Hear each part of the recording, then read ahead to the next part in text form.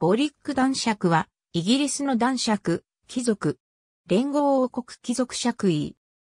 製粉メーカーを経営する実業家で、ロンドン治安判事を務めたサーロバート・ハドソン・ボリックが1916年に、ランカスター州イーデン・レーシーの準男爵に、次いで1922年に、第一次世界大戦時に、傷病兵への食料供給に、こうありとのことで、ランカスター州、ホークスヘッドのボリック男爵に除された。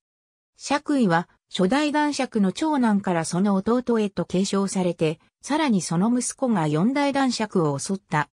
その後は彼の甥が五代男爵を継承した。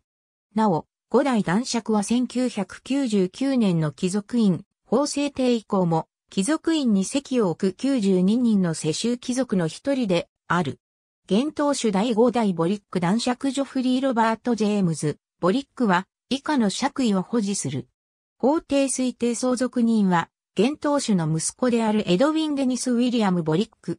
ありがとうございます。